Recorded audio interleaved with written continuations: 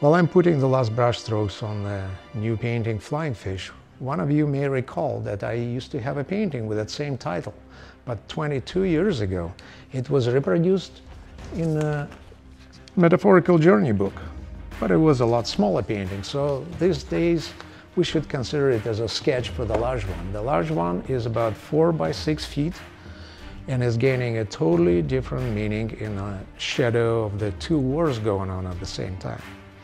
Also, we should remember famous Greek philosopher Aristotle, who said that metaphor is the intuitive perception of likeness in the things that are different.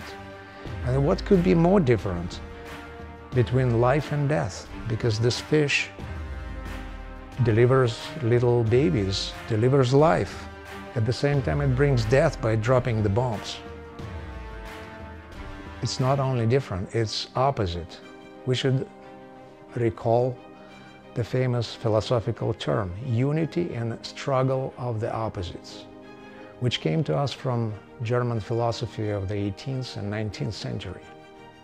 And we also know of existence of the, such a theory about eros and thanatos that came to us from Freud, where eros and thanatos were driven by opposite instincts.